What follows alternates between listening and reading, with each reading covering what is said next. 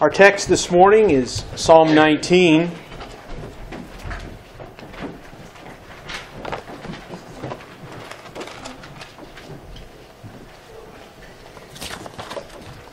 We'll be focusing on the first six verses this morning. And then, Lord willing, next week we'll take verses 7 through 11. And then the final uh, part of the message will be verses 12, 13, and 14. I want you to think about, about this morning God and man communicating with one another. Because that's what Psalm 19 is all about. And that's a pretty amazing thought, isn't it? That the God of the universe would condescend to communicate with you and I. I want you to think about what it means to communicate this morning. In today's society, they, um, we have a variety of ways to communicate, don't we? Um, and having three girls, I, I know a lot of those ways. Uh, social media, and I'm, I'm deeply concerned about our, our generation of kids today, and I mean this with all seriousness because I fear that they're, um, they're losing the ability to communicate face to face.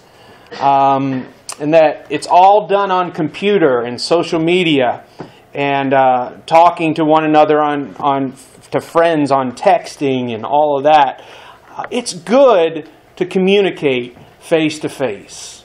There's nothing wrong with social media and, and texting and those things. It's a, it's a nice part of technology, but uh, it's good to be able to talk with one another with our lips and with our mouths and be able to talk words to one another and to be able to understand each other. Now, I want you to think about a time when someone tried to communicate something to you, and when they were done, you had no idea what they said, or you had no idea what they were trying to say. You ever been in that situation before? Um, at the rehabilitation center that, that I manage, we have a, a, lot of clients that are struggling with autism. And in the back of uh, our building is where we train these clients how to work.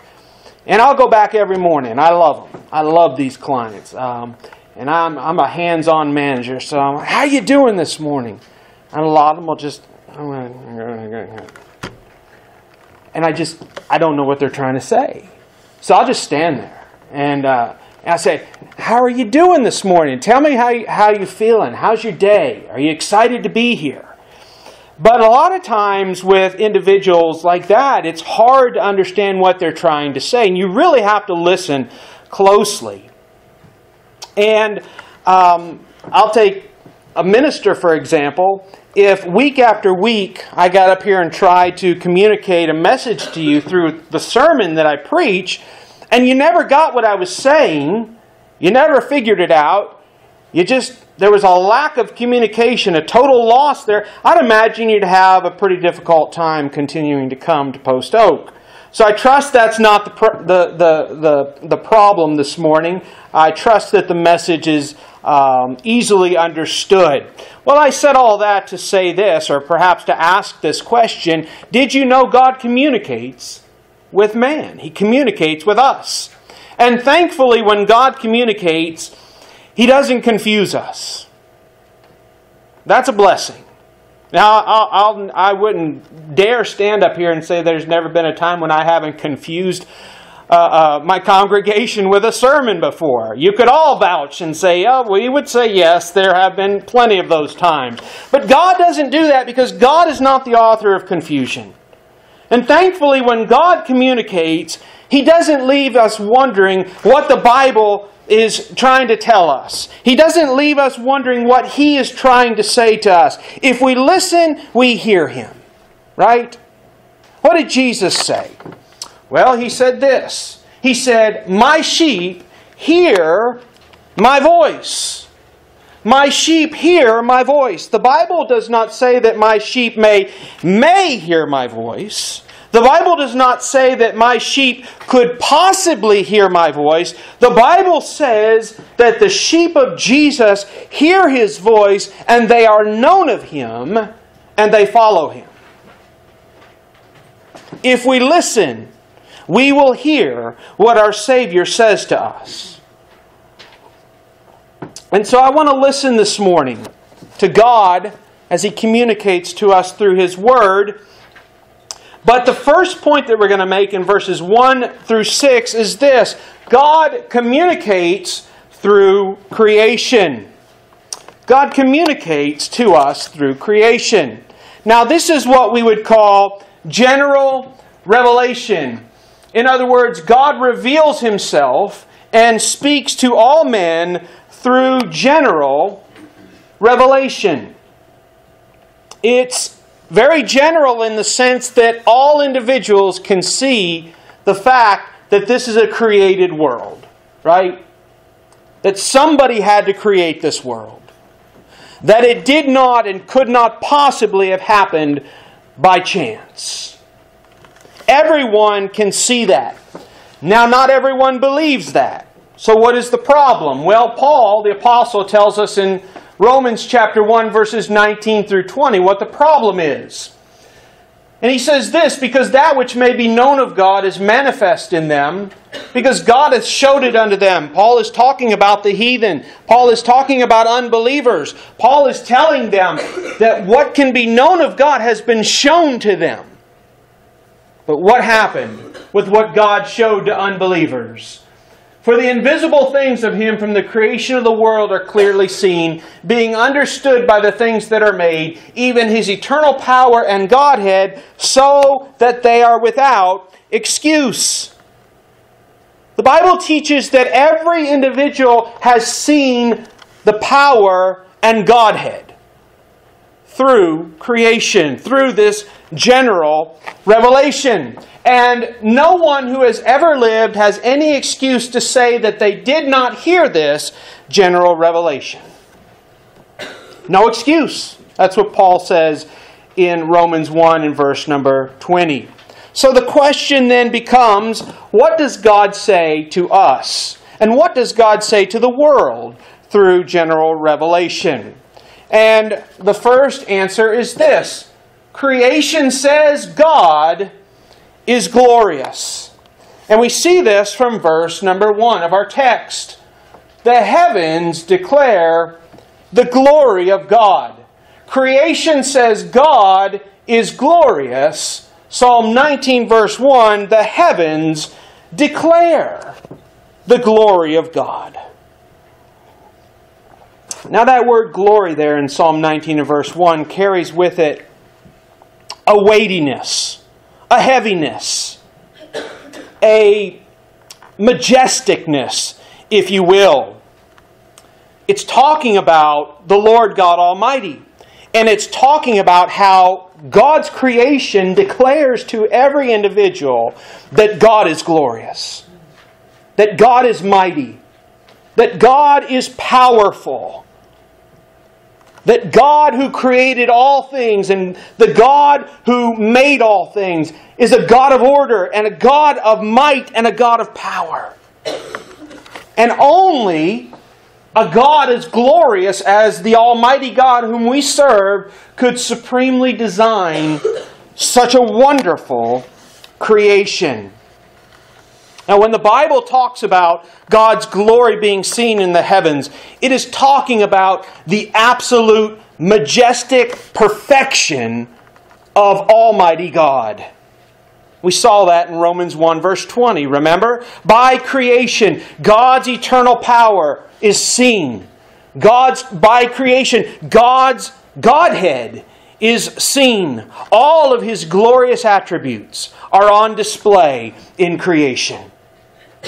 And still, still, after looking and seeing all that God has made and all that God has done in this world, still there are some who would say, There is no God. Can you understand that? Because I can't. after looking at all that God has done, some would still say there is no God. And those people, the Bible says, are fools. Only the fool could say in his heart, There is no God. Psalm 14 and verse 1 says that very thing. The fool hath said in his heart that there is no God. Only a fool would say everything happened by chance.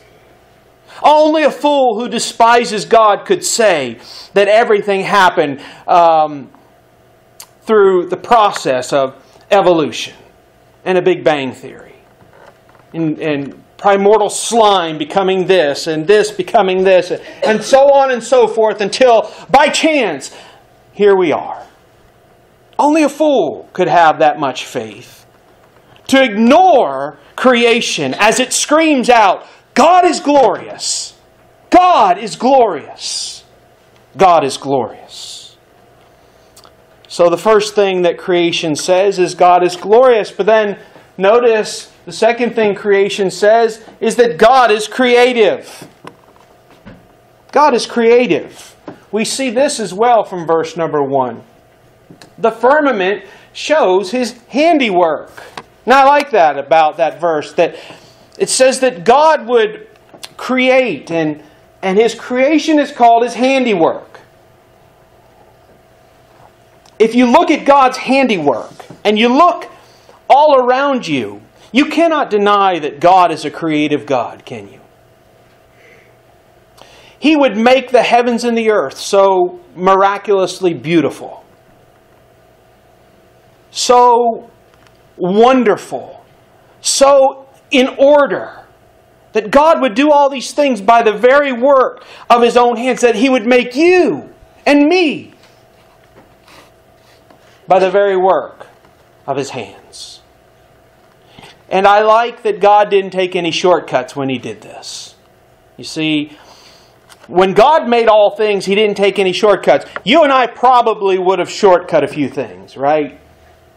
I don't know about you, but I'm um, I'm not very handy. I know we have a lot of handy men in here and handy women in here. Um, I thank God for you. There has to be handy men and handy women in this world. I, I just tend to not be one of those individuals. So when it comes to what little bit of construction and things I've done around the house, it usually involves some shortcutting. I'll just be honest and transparent with you this morning. About 10 years ago, we, um, we bought one of those clubhouses. Now, when I was little, they were metal swings, much like we have out here. That's all we had, right? Uh, you didn't have these big, massive clubhouses. I thought, no problem. I'll get this thing home. Give me a day and it'll be up. I'm pretty sure it took at least six weeks, and I had at least five different people helping me with that thing. And still, the monkey bars didn't get finished, okay? After 10 years, they're still in one of my um, garages because I'm just I'm I'm bad at those things. So I took a shortcut. And by the time I got everything else done and I looked down and saw those monkey bars and all the wood that had to go into those monkey bars, I said, "Forget it. I'm done." Right? I'm done. I took a shortcut. My poor deprived girls, right? But God, when He shows His creativity by making such a marvelous and awesome universe, didn't take any shortcuts. And the universe declares and glorifies God as its creator. And man, who is made in the image of God, should glorify God as our Creator. In fact, the Bible says that the creation that God made is waiting one day for its own redemption. The day when sin will no longer wreak havoc on what has so creatively and wonderfully been made. One of these days, God is going to make a new heaven and a new earth, and the Bible teaches us that the creature was made subject to vanity not willingly, by reason of him who hath subjected the same in hope, because the creature itself also shall be delivered from the bondage of corruption into the glorious liberty of the children of God. And then the Apostle Paul goes on to say that we know that the whole creation groaneth and travaileth in pain together until now. So the fall of man didn't just affect you and me as human beings, the fall of man affected all of God's creation. And today, creation is groaning and travailing. Why do you think we have earthquakes? Why do you think we have tsunamis? Why do you think we have tornadoes? Why do you think we have hurricanes? Why do you think we live here in Putnam and surrounding counties, what I like to call Little Chicago? It is the it's, if it, it Chicago may be the windiest place in the in the in the United States. We're a close second around here. Amen. But why do you think all these things are? It's because creation is waiting for this day right here. I saw a new heaven and a new earth, for the first heaven and the first earth were passed away. Creation is waiting for the day when God redeems it. Not in the same sense that we are redeemed, but made new in the same sense. We are new creatures in Christ, right? When we become born again, we have been made new creatures in Christ. And one day God will make the heavens and the earth new once again. No longer will it be tainted by sin. No longer will it no longer will there be wind and tornadoes and tsunamis and no longer will you have to worry about going out in the backyard and getting bit by a copperhead or a rattlesnake. No longer will you have to worry about going into the ocean and, and being eaten by a great white shark. No longer will we have to worry about these things. You probably don't worry about those things anyway. But if you saw some of the pictures of the great white sharks that are going up and down the Atlantic coast, I'm sure they've always been there, but man, it just seems like lately they've been popping up from everywhere. Enjoy your vacation this summer, okay? Um, if you're going to the beach, that is. All our kids are out here, right? So I'm not scaring anybody. Uh, but creation is waiting. We won't have to worry about those things one day, and that's a wonderful thing. So creation cries out that God is glorious, and creation cries out that God is creative. But then, thirdly, creation cries out that God is orderly. We see this from verse 2 Day unto day uttereth speech, and night unto night showeth knowledge. Did you know there is an order to creation? Well, sure, you know that. There's a day, right? There's a night, there's light, there's darkness, there's sun, there's moon, there are stars. There is an order to creation. There are seasons, right? All of these things declare that God is a God of order. You know, I won't go into all the details because you've heard them all before, but if we were just as a as the earth, if it was just a little bit closer to the sun, the sun would burn us up. If we were just a little further from the sun, we would all freeze. Now, that just happened by chance. I'm sure of it. Aren't you? What is it, 93 million miles? I don't know if it would be 93.1 million miles that, that it would be the problem or, or 92.9 million miles. I'm not sure about all that. But the point of the matter is this that God is a God of order. And every day that we wake up, we are called to recognize that there is a God of order who makes all things, who keeps all things by his sovereign control. And to deny this would be insanity. It would be the work of a fool's heart. God is a God of order. He's not the author of confusion, but he's the author of peace.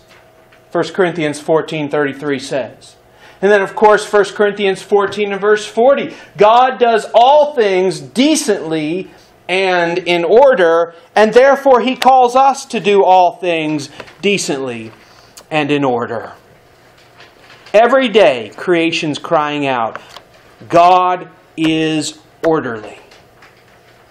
God is glorious. God is creative. God is orderly. And then finally, every day, creation is crying out to us, saying, God is personal. And we see this in verses 3 through 6 of our text.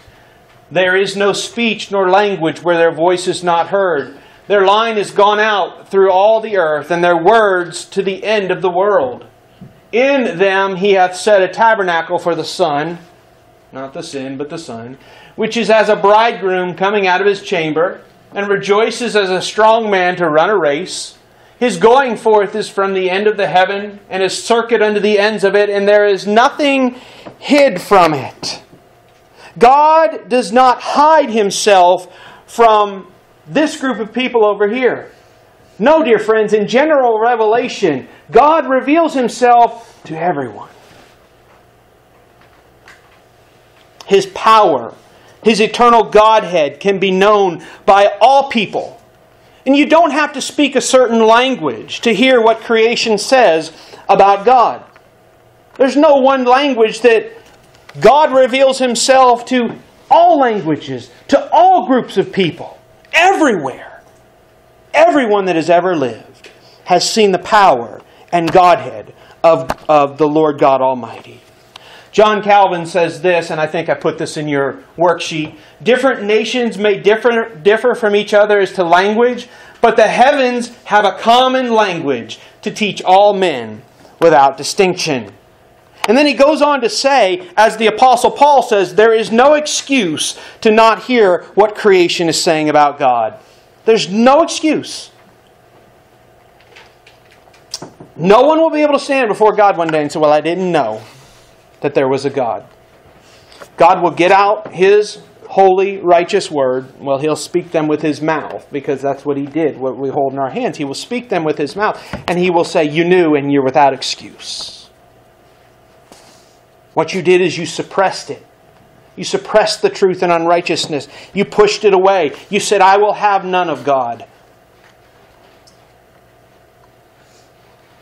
God is a personal God who reveals himself to all individuals through general revelation. Now, let me close with some practical applications, okay? Number one, if God expects every human to hear creation say he is glorious, creative, orderly, and personally, how much more should he expect his peculiar people to worship him for these things? God has personally made all these things for his creation. And God has personally revealed these truths to us who are Christians by his Holy Spirit. How does that not move us this morning to worship a God so powerful, so creative, so majestic, so glorious, so orderly, so personal? How does it not move us to worship God? The Bible says if we will not worship God, then the rocks will cry out and worship Him. And I don't know about you, but I don't want to be one up by a rock. Do you? I don't. I want to worship God. Shame on us if the rocks have to cry out because we keep silent. That's just a practical application. And another one is this. No one can say, as I've been saying, no one can say they have any excuse to not know there is a God because creation speaks this truth to all men. And I won't, you know, I won't stay on this point, practical application, long because I've been making this point through the whole sermon. But through God's general revelation, we all know there is a God. Now, it does not teach the salvation of God, general revelation. It takes special revelation for that, and that's what we're going to look at next week. That's what they call in the radio business a teaser, right? So you come back next week to hear about God's special revelation. But though we cannot learn about salvation through general revelation, it does reveal to all individuals the eternal power and Godhead of the Creator, and they will have no excuse when they stand before God one day. The third practical application is this. If all these things are true, and we believe they are because the Bible teaches them, then idolatry is inexcusable because of the display of God's glory in creation. And do you know what idolatry is? It's the outworking of enmity and rebellion against God. Sin, dear friend, brings rebellion against God. Sin brings antagonism against God and His glory and His power and His attributes. Only, only sin can make man so foolish that he, was, he would harden his heart against such a God who has created all these things. Only sin could cause mankind to desire to worship the creature more than the Creator. Only sin. When you come here to Post Oak Presbyterian Church, this is one of the reasons why in the Presbyterian tradition we wear this robe, because we want to take all of the focus off of us and how the minister is dressed The focus is to be on the Lord Jesus Christ. I don't even want you to hear my words this morning. I want you to hear the words of the Lord Jesus Christ. And only sin could cause mankind to desire to worship the creature more than the Creator. And there's lots of churches all across this county and lots of churches all across this world and, and, and, and America and this world where the minister gets up and the people worship the minister. And they're making a grave mistake because that minister is fallible. And that minister can fall just as easily as you can fall this morning. We are not here to worship anyone else but the Lord Jesus Christ. So idolatry is inexcusable. And then the final practical application that I'd like for you to take with you this morning is this the rejection of God in general revelation brings judgment. It brings judgment. For individuals who say there is no God and they reject God's general revelation, there is coming a day of judgment. I want to read you these verses and we'll be done this morning. Romans chapter 1, the Apostle Paul says, For this cause, for what cause? Because individuals said, I, I'm going to worship the creature more than the Creator. For this cause, God gave them up unto vile affections. For even their women did change the natural use into that which is against nature. And likewise also the men, leaving the natural use of the woman, burned in their lust one toward another men with men working that which is unseemly and receiving in themselves that recompense of their error which was meet. The sin of homosexuality is a result. It's a result of denying God, of saying there is no God. And I just saw a headline that said homosexuality on rise uh, uh, in our youth, on the rise in our youth. What do our youth know about those things? Well, it's what they're taught, right? It's they're, they're, they're taught to deny the God of Scripture. And what happens as a result, God gives individuals over to reprobate minds, and they do all of these unnatural things because they don't follow the natural order of general revelation that says there is a God and we must bow the knee before this God. Even as they did not like to retain God in their knowledge, here's the problem. God gave them, they didn't, they didn't like to think about God. They didn't want anything to do with God in their thoughts, so they push him out and push him away. God gave them over to a reprobate mind to do those things which are not convenient, being filled with all unrighteousness, fornication, wickedness, covetousness, maliciousness full of envy, murder, debate, deceit, malignity, whisperers, backbiters, haters of God, despiteful, proud, boasters, inventors of evil things. Sound like America today? Sound like our hearts today? Hmm. Without the grace of God, there we are this morning. Disobedient to parents without understanding, covenant breakers without natural affection, implacable, unmerciful. Who? Now he's going back to the heathen. He's going back to the pagan. He's going back to the unbeliever here. He says they know the judgment of God. Yet they commit such things that are worthy of death. Not only do they commit these things, but they have pleasure in others that do them. So it's not enough that the unbeliever commits their sin and, and, and hates God and rebels against God, but they try to get as many people as they possibly can to do the same thing. And they love it when people deny God. But I want you to know something this morning, dear church. These unbelievers know the judgment is coming. They know it's coming. And how do they know? They know by their consciences. last scripture, and I'm done. For when the Gentiles, which have not the law, do by nature the things contained in the law, these having not the law are a law unto themselves, which show the work of the law written in their hearts, their consciences also bearing witness, and their thoughts the meanwhile accusing or else excusing one another. No one will be able to stand before God one day and say, I did not know. God will say you had general revelation. Every day you woke up, you should have seen my glory. And in your conscience, God will say to the unbeliever, in your conscience, you knew that there was a judgment day coming. And you made the choice to continue to reject me.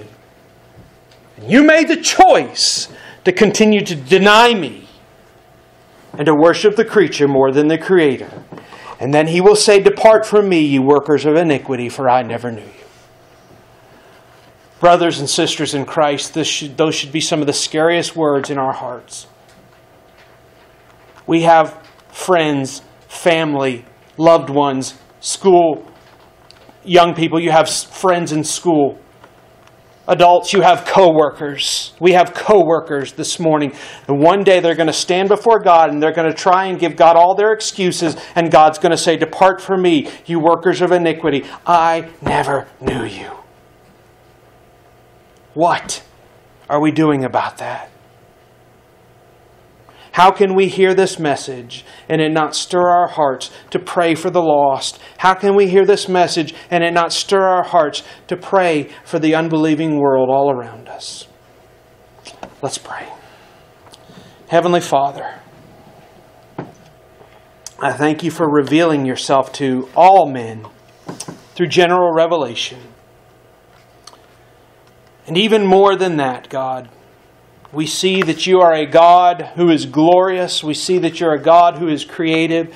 We see that you're a God who is orderly. We see you're a God who's personal. And we know that all unbelievers are without excuse because they see this every day. And their consciences bear witness to the fact there is a judgment day coming because of their sin.